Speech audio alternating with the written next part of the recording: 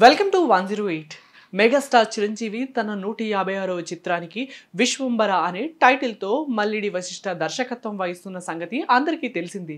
ఈ చిత్రంలో త్రిష అనుష్క శెట్టి మురునాల్ ఠాకూర్ సునీల్ నటించగా సంగీత దర్శకునిగా ఎంఎం కీరవాణి గారిని తీసుకున్నారు.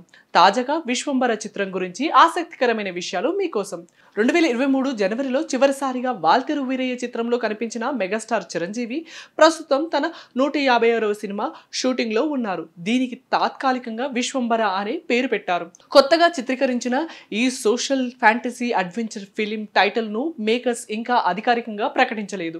మల్లిడి వశిష్ఠ దర్శకత్వం వహించిన ఈ చిత్రం దసరా రోజున ముహూర్తపు పూజ తర్వాత అక్టోబర్లో సెట్స్ పైకి వెళ్ళింది. షూటింగ్ జరుపుకుంటున్న ఈ సినిమా డిసెంబర్ రెండో వారంలో తొలి షెడ్యూల్ పూర్తి కానుంది.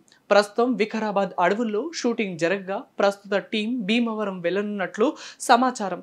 చిరంజీవి నటించిన ఈ సినిమా యాక్షన్ సన్నివేశాలు రెండు వారాల పాటు జరుగుతాయని సమాచారం.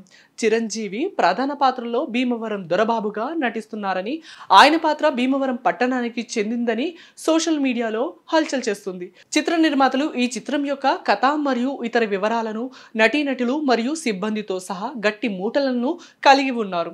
ఈ చిత్రంలో త్రిష అనుష్క శెట్టి మృణాల్ ఠాకూర్లతో సహా ముగ్గురు మహిళా కథానాయకులు నటిస్తున్నారు. అయితే ఇది ఇంకా ధృవీకరించబడలేదు. ఈ చిత్రంలో సునీల్ కూడా ఒక ప్రముఖ పాత్రలో నటించనున్నాడు. మరియు సంగీత స్వరకర్తగా ఎంఎం కీరవాణి ఈ సినిమా పాటలను కంపోజ్ చేయనున్నారు. విశ్వంబర భారీ బడ్జెట్తో ప్లాన్ చేయబడింది. మరియు బడ్జెట్లో ఎక్కువ భాగం విఎఫ్ఎక్స్ పని కోసం కేటాయించబడింది.